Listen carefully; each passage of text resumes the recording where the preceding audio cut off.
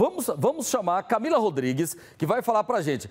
Camila, a gente está entrando nesse, nesse é, período que eu não sei nem como é que a gente define esse tempo, né? A noite está frio demais, depois vai esquentando durante o dia, o tempo está seco, nossas narinas começam a arder né, com esse tempo esquisito. É, o que esperar para os próximos dias, inclusive para quem está arrumando as malas e indo para o Araguaia?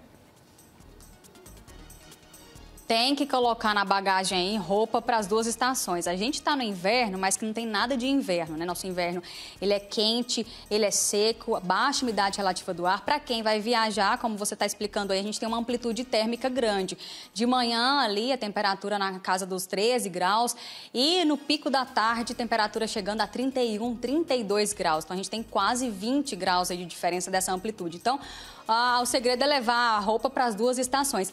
E é, é, nesse mês de julho, isso vai continuar, essa amplitude térmica vai continuar. A gente vai amanhecer mais frio, mas no começo da tarde, né, finalzinho da tarde aí, durante a tarde a gente vai ter temperaturas mais quentes. E agora a gente está quase saindo, estou aqui com o André Amorim, que é gerente aqui do CIMEG, o Centro de Meteorologia aqui de Goiás, a gente está quase saindo para um nível já de alerta, né, por conta dessa baixa umidade relativa do ar, ou seja, é uma coisa já que preocupa, né? Boa tarde para você. Boa tarde, Camila. Boa tarde, Oloares. Boa tarde a todos. Realmente, como a Camila bem colocou aqui, uma situação. É, de inverno não tem nada, é somente o nome, né? Mas nós estamos com amplitude térmica muito elevada, manhãs com temperaturas baixas, aqui em Goiânia mesmo, por exemplo, começando com 12, 13 graus, mas a gente chega cá a casa dos 29, 30 graus. Então, assim, você tem mais de 15 graus de, de diferença e à noite também esfria muito rapidamente. Então, haja organismo para aguentar tudo isso. Então, para quem sofre daquelas ites, né?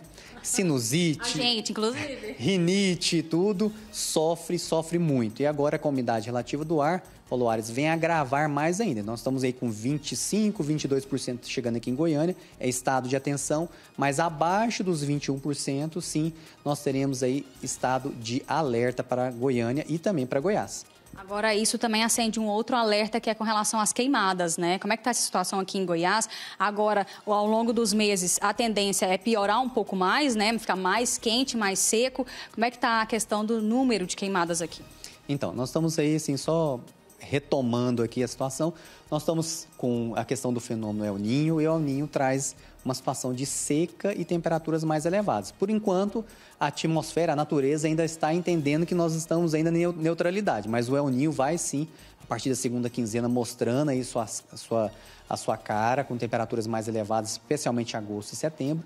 Então, umidade baixa, temperatura alta, a vegetação vai ficar cada vez mais seca. E isso fica aumenta o risco para incêndios aqui no estado de Goiás. Hoje, praticamente, nós estamos com um risco alto aqui no estado de Goiás e contamos, né, pedimos encarecidamente, tem que ser, viu, Camila? Para as pessoas evitarem ao máximo, não coloquem fogo, nada, em nada, nem que seja aquela folhinha na porta de casa, evite ao máximo. Por quê? Fogo na vegetação, você vai queimá-la vai prejudicar a natureza e também vai prejudicar a qualidade do ar. Quando você vê o céu acinzentado de Goiânia, pessoal, aquilo é fumaça que está dispersa e você vai ter que respirar. Todos nós, inclusive as crianças, os idosos. Aí os postos de saúde começam a ficar mais lotados e os hospitais também por conta dessa situação que nós não estamos cuidando do nosso meio ambiente. E eu gosto sempre de falar uma fala aqui, de destacar uma fala de Corpo de Bombeiros Olores, que é assim: 99,9% das queimadas são provocadas pelo ser humano, né? Não são provo...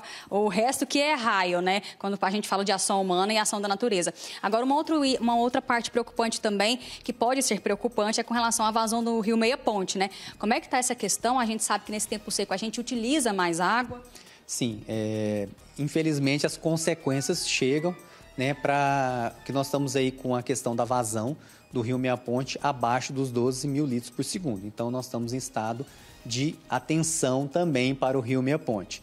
Então pedimos à população também que faça o uso consciente da água, evite ficar lavando calçada com água tratada, que também é proibido aqui no município de Goiânia e também os municípios, outros municípios também onde o Rio Meia Ponte passa, é interessante que as pessoas façam um bom uso da água. Nesse momento, estamos melhor do que o ano passado. O trabalho que o governo do estado de Goiás tem desenvolvido no Meia Ponte tem surtido efeito. Nós estamos com mil litros a mais que no mesmo período do ano passado, no fechamento do dia de ontem. Então, nós estamos hoje com 10.600. Ano passado, nós estávamos com 9 mil e pouco. Então, 9.600. Então, realmente nós estamos em um índice melhor, mas não podemos baixar a guarda. Por quê? O rio, ele abaixa muito rápido. Nós estamos com... É até bom que o nosso ouvinte, é, nosso telespectador entenda o que, que é reservatório e o que, que é o rio. Rio, córregos, ribeirões, eles estão baixando a água muito rapidamente. A água não está sendo armazenada. Agora, os nossos reservatórios hidrelétricos, eles estão muito bem, obrigado. Realmente com um nível muito bom. Serra da Mesa e vários outros. Mas os rios sofrem realmente com esse período de estiagem. Agora, possibilidade de chuva para julho? Muito, mas muito remota mesmo. Nós vamos aí ter que aguentar esse julho mesmo com temperaturas já vão subir pelo menos é, tivemos um pequeno probleminha lá com a Camila, né, no nosso sinal, mas deu para você entender que a situação é de alerta, né? A, a baixa umidade relativa do ar está chamando a atenção. Cuidado com queimadas e a gente vai continuar com esse tempo aí variando entre calor e frio também. Ficou aí o recado, né?